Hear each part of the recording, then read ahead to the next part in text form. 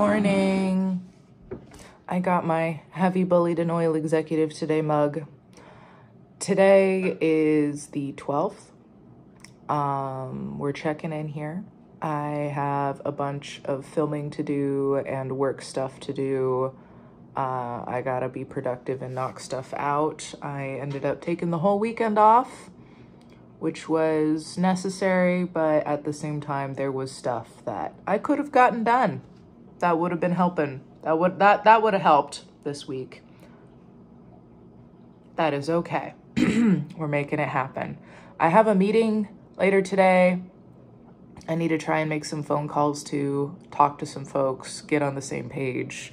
A lot of strategizing happening about what a lot of work is going to look like over the next four years. So, um, my strategy, as I have said in a few different posts, is going to look pretty different going forward. I have been okay operating on some pretty thin margins up until now, but those days are about to come to a screeching halt. Uh, things are about to like I said, look pretty different. I have to take different steps. Um, I have made a decision to lean harder into a more documentary style role, storyteller style role, um, to really uh, invest and um, put more energy into protecting the record because as we have seen from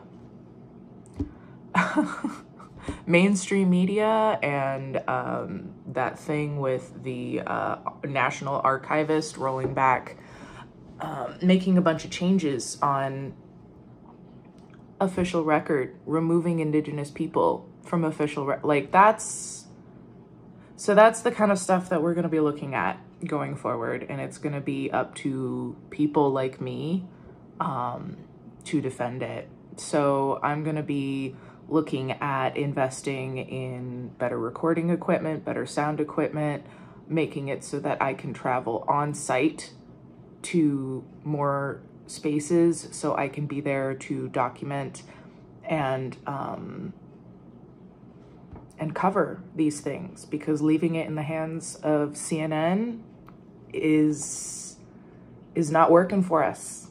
It's just not. So that's my plan. That's what I intend to do. Um, and thank you to everyone here who continues to make work like that possible for me to go and help my dad in person, for me to travel on site to places. I am looking at changing up a lot of what I'm going to be doing next year. Um, some of this was already in the works pre-election, um, but it, I'm going to be doubling down on it. Um, and working on getting additional funds going on around here so I can insulate myself from potential bumps in the road. You know what I mean? So thank you again to everyone who continues to make this possible. You keep my lights on. Um, thank you to everyone who's been in the shop. And thank you, thank you, thank you, thank you to the Patreon members.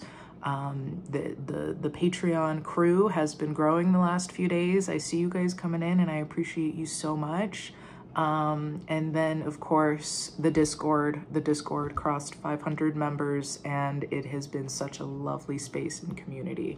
The Discord I am trying to keep free and open for folks to be able to come and use the space as they need to, but there is a subscription option for folks who would like to support the space. So that has been set up. Um, I'm going to get to work um, making my face cute for some videos and get to work on editing. Um, I will probably be doing a live stream a little bit later to check in, come hang out. But other than that, we keep we keep going. So, all right. I will see you guys next time. Thanks.